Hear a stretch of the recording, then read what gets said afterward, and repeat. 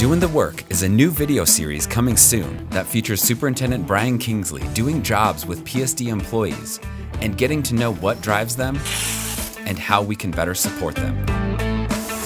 Stay tuned, and we hope you enjoy it.